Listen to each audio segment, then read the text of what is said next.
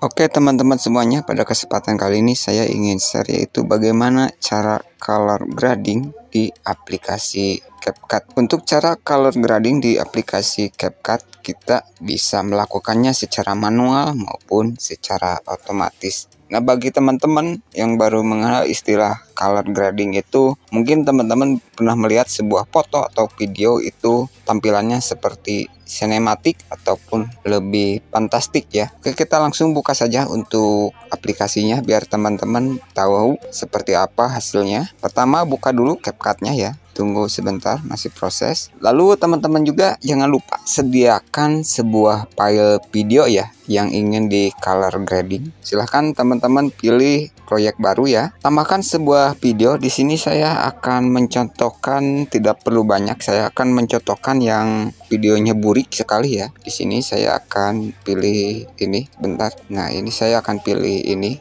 Lalu klik tambahkan ya di bawah tombolnya klik tambahkan. Oke teman-teman bisa perhatikan itu adalah video pemandangan ya. Nah, video pemandangan bisa teman-teman lihat itu adalah video pemandangan. Nah ini adalah originalnya ya teman-teman bisa perhatikan. Ini sebelum kita kasih color grading. Di sini untuk color gradingnya saya tidak akan manual ya untuk mempersingkat video seperti judul saja yaitu kita akan color grading secara otomatis. Di CapCut ini ada ya untuk color grading secara otomatis sesuai dengan tema foto yang teman-teman gunakan saat itu ataupun sesuai dengan tema video yang teman-teman gunakan saat itu. Karena ini foto bersifat pemandangan ya videonya. Ini teman-teman perhatikan ini adalah sebelum kita kasih color grading. Oke, untuk caranya teman-teman scroll saja ya di elemen-elemen di bawah atau menu-menu di bawah. Cari saja filter ataupun sesuaikan. Nah, ini teman-teman bisa memilih filter ataupun sesuaikan. Di sini saya coba langsung ke filter saya ya. Pada dasarnya sama kalau disesuaikan kita ini color gradingnya secara manual ya. Tetapi saya langsung ke filter saja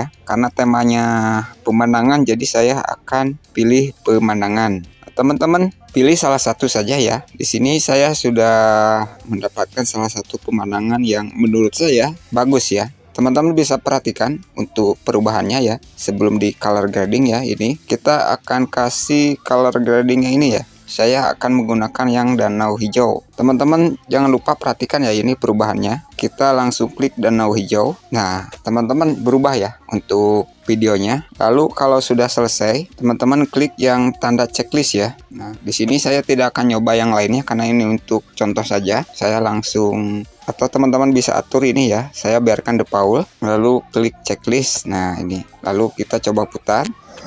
Nah, itu. Jadi video kita sudah selesai dikasih color grading ini juga bisa teman-teman terapkan untuk foto ya. Tinggal teman-teman co coba terapkan. Yang penting sesuaikan jika ingin menggunakan foto filternya gunakan yang mungkin pro atau kehidupan ya banyak ya. Kalau untuk potret ini atau teman-teman bisa menggunakan yang seperti film-film ya untuk color gradingnya. Jadi pada video ini saya hanya menjelaskan cara color grading secara otomatis saja. Untuk color grading secara manual akan saya buatkan di video selanjutnya. Karena kalau untuk manual ini mungkin akan lebih panjang ya penjelasannya. Oke sekian dulu untuk video kali ini semoga bermanfaat dan assalamualaikum warahmatullahi wabarakatuh.